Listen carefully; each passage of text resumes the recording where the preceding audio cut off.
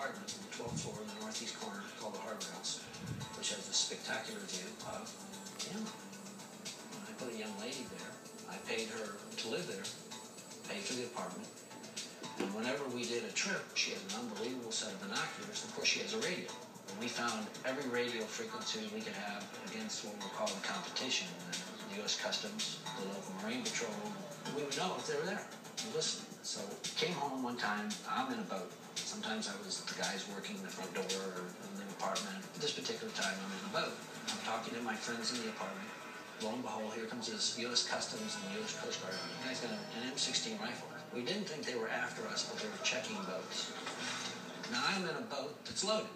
But when he pulls up alongside of me, the motor on his boat's going bang, bang, bang, bang, bang, bang, bang, bang, bang, bang. Geez, that sounds terrible. He said, oh, it's been doing that since yesterday. Oh, oh God. And he turns around and, and he don't get 100 feet from me and his cut. I thought he shot the rifle or something. And it was, he caught the wave just perfect. The piston comes out through the side of the motor and skips on the wave. It looked like some kid throwing a rock. And a big flame shoot, out the side, just lights everything up. I go, damn. and they're on the radio. They can't get him because of what is superior equipment. I'm worried about these guys. I said, you guys need to tow. And I threw them a line, and they got on my boat, and I towed the U.S. Coast Guard and the U.S. Customs. But we're in a boat that had 350, 400 kilos in it. The young lady who was up in the apartment said oh, only I would, anybody else would panicked and probably jumped overboard.